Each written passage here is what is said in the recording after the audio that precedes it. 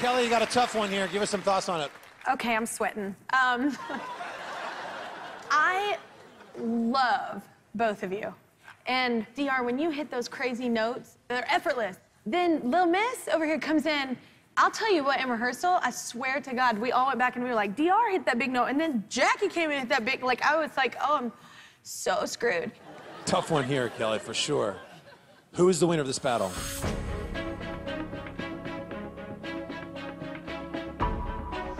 The winner of this battle, because I know the other's got to be safe. If y'all let me down, okay, I'm gonna be so mad.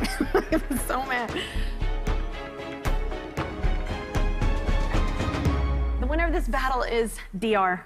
DR, congratulations, you're moving on to the knockouts. On Team Kelly. I picked DR because he's a powerful singer. I know he's bold. He's willing to go somewhere with song selection. A lot of times winning and advancing is about great song selection. Coaches, let me remind you, Jackie's available to steal.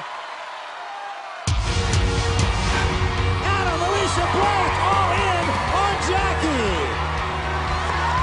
A triple steal. Yes, yes, yes. Yeah, Jackie! Oh my gosh.